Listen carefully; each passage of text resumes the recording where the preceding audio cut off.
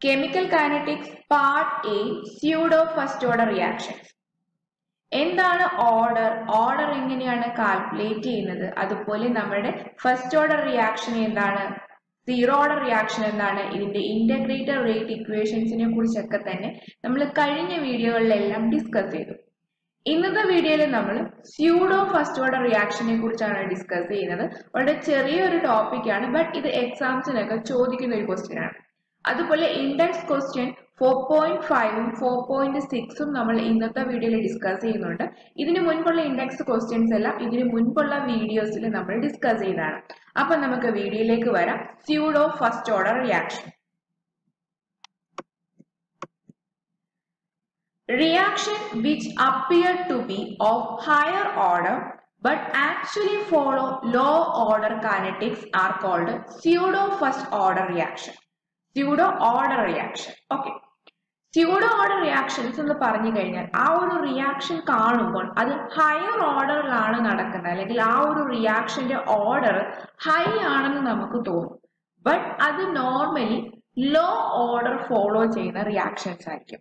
ഇത്തരം റിയാക്ഷൻസിനെയാണ് pseudo order reactions എന്ന് പറയുന്നത്. സ്യൂഡോ എന്ന് പറഞ്ഞു കഴിഞ്ഞാൽ അർത്ഥം തെറ്റിദ്ധരിപ്പിക്കപ്പെടുക എന്നൊക്കെയാണ്. ഓക്കെ അപ്പം ആ ഒരു റിയാക്ഷൻ കാണുമ്പോൾ ഹൈ ഓർഡർ ആണെന്ന് തോന്നുകയും ബട്ട് ആക്ച്വലി അത് ലോ ഓർഡർ കാണിക്കുന്ന റിയാക്ഷൻസുമാണെങ്കിൽ അത്തരം റിയാക്ഷൻസ് ആണ് സ്യൂഡോ ഓർഡർ റിയാക്ഷൻ ഓർഡർ എന്ന് പറഞ്ഞു കഴിഞ്ഞാൽ sum of the powers of the concentration terms in a rate law expression ആണ്. ഓക്കെ അപ്പൊ നമ്മൾ റേറ്റ് ലോ എക്സ്പ്രഷൻ എഴുതുമ്പോൾ അവിടെയുള്ള റിയാക്റ്റന്റുകളുടെ പവറിന്റെ സം ആണ് നമ്മൾ ഓർഡർ കാൽക്കുലേഷന് വേണ്ടി എടുക്കുന്നത്. അപ്പം ഇവിടുത്തെ റിയാക്ടന്റ് വെച്ച് നമ്മൾ ഹൈ ഓർഡർ ആണെന്ന് വിചാരിക്കും. ബട്ട് അത് ആക്ച്വലി ലോ ഓർഡറിലായിരിക്കും നടക്കുന്നത്. ഓക്കെ സ്യൂഡോഡ് റിയാക്ഷന്റെ ഒരു കോമൺ എക്സാമ്പിൾ ആണ് acid hydrolysis of ethyl acetate okay ethyl അസറ്റേറ്റിന് acid hydrolysis നടത്തുമ്പോൾ നമുക്ക് കിട്ടുന്ന പ്രോഡക്റ്റ് ആണ് എഥനോയിക് ആസിഡും അതുപോലെ എഥനോളും ഓക്കെ അതായത് എസ്റ്റർ ഹൈഡ്രോളിസിന്റെ കോമൺ പ്രോഡക്റ്റ് ആണ് കാർബോക്സിലിക് ആസിഡും അതുപോലെ ആൽക്കഹോളും ഇവിടെ നമ്മളുടെ റേറ്റ് ലോ എക്സ്പ്രഷനകത്ത് കോൺസെൻട്രേഷൻ ഓഫ് ഈതൽ അസറ്റേറ്റ് മാത്രമാണ് വരുന്നത്. ഈ ഒരു റിയാക്ഷന്റെ കേസ് എടുക്കുമ്പോൾ ഇവിടെ നമ്മുടെ കോൺസെൻട്രേഷൻ ഓഫ് വാട്ടർ ഈ ഒരു റിയാക്ഷനകത്ത് അതിന്റെ റേറ്റിനെ ഒരു തരത്തിലും അഫക്ട് ചെയ്യുന്നില്ല. By the expression r is equal to k into concentration of C H three C O O C two H five ഇവിടെ നമ്മുടെ concentration of H two O ഈ ഒരു റിയാക്ഷന്റെ റേറ്റിനെ അഫക്ട് ചെയ്യാത്തത് കൊണ്ട് തന്നെ ആ ഒരു ടേം ഇവിടെ വരുന്നില്ല. അതുകൊണ്ട് തന്നെ ഈ ഒരു റിയാക്ഷന്റെ ഓർഡർ വരുന്നത് വൺ ആണ്. ഓക്കെ നമുക്കറിയാം ഓർഡർ എന്ന് പറഞ്ഞു കഴിഞ്ഞാൽ കോൺസെൻട്രേഷൻ ടേമുകളുടെ പവറിന്റെ സമ്മാണ് ഇവിടെ ഈ concentration of C H three C O O C two H ഫൈവിന്റെ power ആയിട്ട് വരുന്നത് വൺ ആണ്. അതുകൊണ്ട് തന്നെ ഈ ഒരു റിയാക്ഷന്റെ ഓർഡർ വരുന്നത് വൺ ആണ്. നമ്മൾ ഈ ഒരു റിയാക്ഷൻ കാണുമ്പോൾ ഇതിന്റെ ഓർഡർ ടു ആണെന്ന് വിചാരിക്കും. കോൺസെൻട്രേഷൻ ഓഫ് എച്ച് ടു യുടെ ടേമും കൂടെ വരുമ്പോൾ അവിടെ ഓർഡർ വരുന്നത് ടു ആണ്. ബട്ട് ഇവിടെ ഈ ഒരു റിയാക്ഷനകത്ത് ഇതിന്റെ റേറ്റിനെ കോൺസെൻട്രേഷൻ ഓഫ് വാട്ടർ അഫക്ട് ചെയ്യാത്തത് കൊണ്ട് ആ ഒരു ടേം നമ്മുടെ റേറ്റ് ലോ എക്സ്പ്രഷനകത്ത് വരുന്നില്ല. Okay another example is inversion of cane sugar in presence of dilute acid okay നമ്മുടെ cane sugar in presence of water നമുക്ക് കിട്ടുന്ന പ്രോഡക്റ്റ് ഗ്ലൂക്കോസും ഫ്രക്ടോസുമാണ് ഇവിടെയും കോൺസെൻട്രേഷൻ ഓഫ് വാട്ടർ ഈ ഒരു റിയാക്ഷനകത്ത് റേറ്റിനകത്ത് അഫക്ട് ചെയ്യാത്തതുകൊണ്ട് ആ ഒരു ടൈമും നമ്മുടെ റേറ്റ് ലോ എക്സ്പ്രഷനകത്ത് വരുന്നില്ല. And rate is equal to k into concentration of C twelve H twenty two O eleven അത് വെച്ചിട്ട് ഇവിടെ ഓർഡർ വരുന്നത് വൺ ആണ്. ഈ ഒരു റിയാക്ഷന്റെയും ഓർഡർ വരുന്നത് വൺ ആണ്. ഓക്കെ അപ്പം സ്യൂഡോ ഓർഡർ റിയാക്ഷൻ എന്ന് പറഞ്ഞു കഴിഞ്ഞാൽ ആ ഒരു റിയാക്ഷൻ ഹൈ ഓർഡർ ആയിട്ട് നമുക്ക് തോന്നും. ബട്ട് അത് ആക്ച്വലി ലോ ഓർഡറിലാണ് നടക്കുന്നത്. അത്തരം റിയാക്ഷൻസിനെയാണ് നമ്മൾ സ്യൂഡോ ഓർഡർ റിയാക്ഷൻ എന്ന് പറയുന്നത്. സ്യൂഡോ ഫസ്റ്റ് ഓർഡർ റിയാക്ഷൻ എന്ന് പറഞ്ഞാൽ ഹൈ ഓർഡർ ആണെന്ന് തോന്നുകയും ബട്ട് ആക്ച്വലി അത് ഫസ്റ്റ് ഓർഡർ ഫോളോ ചെയ്യുന്നതുമായുള്ള റിയാക്ഷൻസിനെയാണ് നമ്മൾ സ്യൂഡോ ഫസ്റ്റ് ഓർഡർ റിയാക്ഷൻസ് എന്ന് പറയുന്നത്. നിങ്ങളുടെ ടെക്സ്റ്റിനകത്ത് കൊടുത്തിരുന്ന രണ്ട് എക്സാമ്പിൾസും ഇവിടെ എഴുതിയിട്ടുണ്ട്.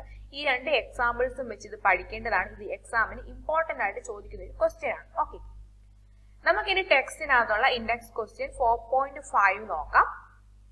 The first order reaction has a rate constant one point one five into ten raise to minus three second inverse how long will five gram five gram of this reactant take take to reduce to three gram okay അപ്പം ഇതൊരു first order റിയാക്ഷന്റെ കേസാണ് പറഞ്ഞിരിക്കുന്നത്. അതിന്റെ rate constant നമുക്ക് തന്നിട്ടുണ്ട്. അതുപോലെ അതിന്റെ initial concentration five gram ആണെന്ന് തന്നിട്ടുണ്ട്. ആൻഡ് അതിന്റെ ഇപ്പോഴത്തെ ഫൈനൽ കോൺസെൻട്രേഷൻ ത്രീ ഗ്രാമുമാണ് വന്നിരിക്കുന്നത്.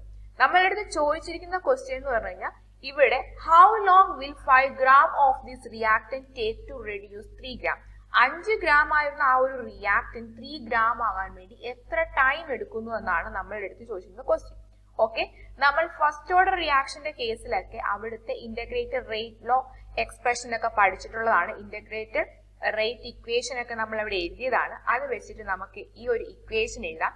T is equal to two point three naught three by k log concentration of A zero by A okay നമ്മൾ അവിടെ integrated rate expression എഴുതിയപ്പം k is equal to two point three naught three by t log concentration of A zero by A എന്നാണ്. നമുക്ക് time ആണ് ഇവിടെ ചോദിച്ചിരിക്കുന്നത്. അതുകൊണ്ടാണ് T is equal to എന്ന് പറഞ്ഞ് എഴുതിയിരിക്കുന്നത്. ഓക്കെ നമുക്ക് തന്നിരിക്കുന്നത് അതിന്റെ ഇനിഷ്യൽ കോൺസെൻട്രേഷൻ എ സീറോ തന്നിട്ടുണ്ട് five gram and final concentration A തന്നിട്ടുണ്ട്. അതുപോലെ നമ്മുടെ ഫസ്റ്റ് ഓർഡർ ഈ ഒരു റിയാക്ഷന്റെ റേറ്റ് കോൺസ്റ്റന്റ് കെയുടെ വാല്യൂ നമുക്ക് തന്നിട്ടുണ്ട്. അത് എത്രയും നമ്മുടെ ക്വസ്റ്റ്യനകത്തുള്ളതാണ് അത് നമുക്ക് ഈ ഒരു ഇക്വേഷൻ അത് ഡയറക്റ്റ് ആയിട്ട് സബ്സ്റ്റിറ്റ്യൂട്ട് ചെയ്യാം. ഓക്കെ കെയുടെ value and concentration of A zero and concentration of A തന്നിട്ടുണ്ട്. അത് നമുക്ക് സബ്സ്റ്റിറ്റ്യൂട്ട് ചെയ്യുമ്പോൾ two point three naught three by one point one five into ten raise to minus three second inverse log five by three എന്ന് കിട്ടും. Okay five by three എടുക്കുമ്പോൾ നമുക്ക് value one point six six seven എന്നാണ് കിട്ടുന്നത്.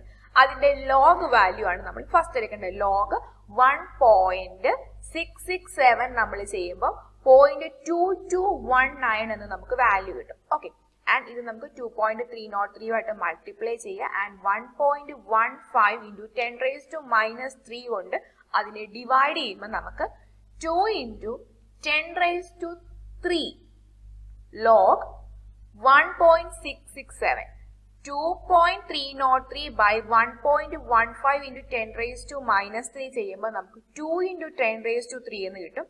And ലോഗിന്റെ value കൂടെ നമുക്ക് substitute ചെയ്യുമ്പോൾ നമുക്ക് കിട്ടുന്ന final four point sorry four four three point eight seconds എന്ന് കിട്ടും. Okay four hundred and forty three point eight seconds എന്ന് നമുക്ക് ടൈം കിട്ടും. ഓക്കെ ഇത് അപ്രോക്സിമേറ്റ് ആയിട്ട് നമുക്ക് four four hundred forty four seconds എന്ന് പറയാം. Okay four four four seconds എന്ന് നമുക്ക് എഴുതാം. ഓക്കെ അപ്പൊ നമ്മുടെ ചോദിച്ചിരുന്നത് ഇതൊരു ഫസ്റ്റ് ഓർഡർ റിയാക്ഷൻ ആയിരുന്നു. അതിന്റെ ഇനിഷ്യൽ കോൺസെൻട്രേഷനും ഫൈനൽ കോൺസെൻട്രേഷനും നമുക്ക് തന്നിട്ടുണ്ടായിരുന്നു.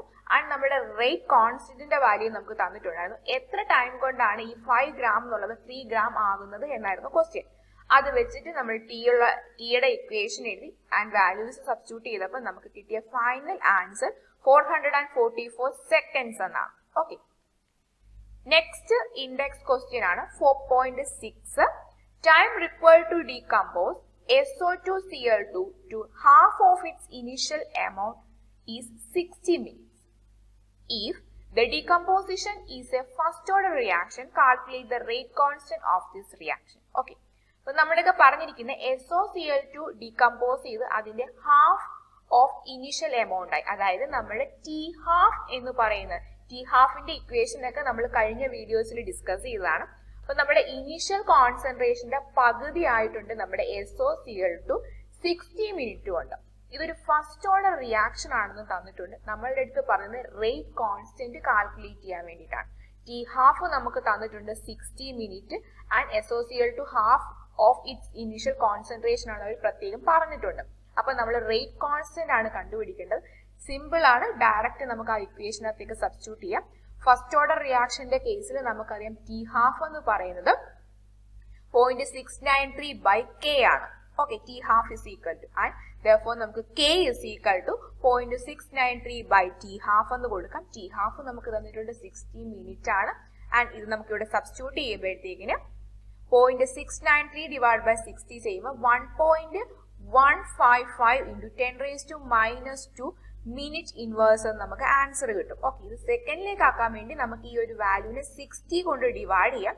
അപ്പൊ നമുക്ക് one point nine two five into ten raise to minus four second inverse എന്ന് നമുക്ക് വാല്യൂ കിട്ടും. ഓക്കെ അപ്പൊ rate constant k is equal to one point six sorry one point nine two five into ten raise to minus four second inverse okay മിക്ക എക്സാംസിന് ചോദിക്കുന്നതാണ് നമ്മുടെ first order റിയാക്ഷന്റെ T half കാൽക്കുലേഷനുമായിട്ട് റിലേറ്റ് ചെയ്തുള്ള question ചില കേസിൽ ടി ഹാഫ് കണ്ടുപിടിക്കാനും ചില കേസിൽ ഇതുപോലെ റേറ്റ് കോൺസ്റ്റന്റ് കണ്ടുപിടിക്കാനുമാണ്.